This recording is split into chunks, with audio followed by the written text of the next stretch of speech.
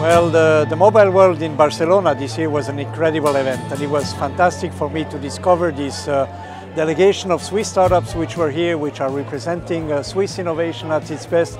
It's an absolutely amazing uh, week for me. I think it's an amazing program because of many reasons. First is that so so to come as a team here will, will give us enough confidence and, and, a, and a visibility to, to gain partners, to gain investors. This was amazing.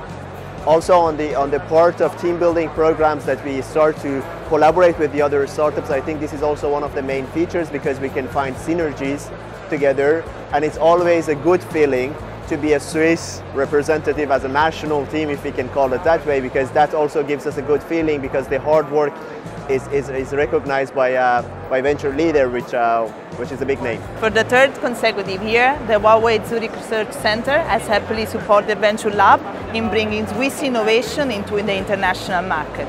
As always, we are really happy to be at the Mobile World Congress together with this amazing partner and startups.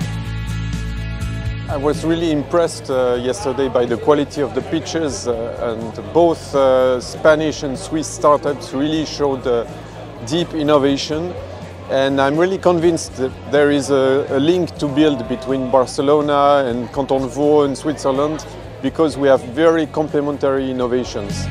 This year that we selected, I think uh, all of them um, have uh, really great potential and I trust they had a very useful contact in the course of this week.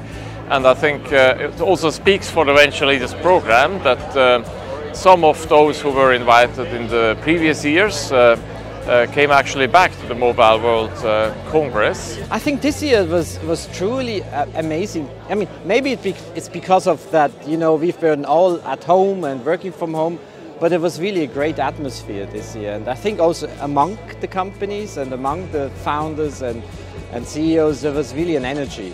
Uh, when it comes to BizDev, but also investors. And also uh, the people uh, from the team are really, really nice. So it was really a nice experience here. What I'm completely uh, blown away is the quality of the startups, not only in terms of technology, but now in terms of business. So if you see how much turnover they already uh, were able to create, how much funds they, they raised from investors, it's just another league. So basically the Swiss startups are getting better every year.